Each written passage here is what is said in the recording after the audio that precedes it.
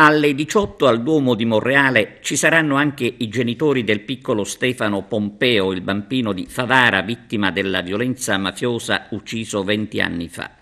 I genitori del ragazzino arriveranno da Favara per aderire alla giornata organizzata dal Parlamento della legalità internazionale.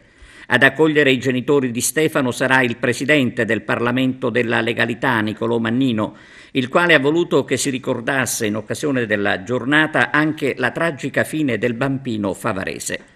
Mafia, stato assente ai funerali del bimbo è il titolo del quotidiano La Repubblica all'indomani dell'estremo saluto al bambino alla matrice di Favara, dove fu grande la solidarietà della gente e scarsa quella delle istituzioni.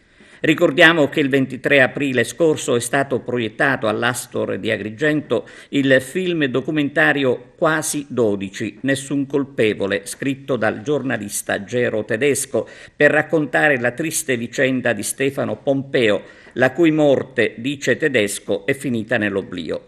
Grazie a Niccolò Mannino, quello di Monreale sarà un altro momento per ricordare la piccola vittima, ma anche per condannare l'orrendo gesto che portò alla sua morte.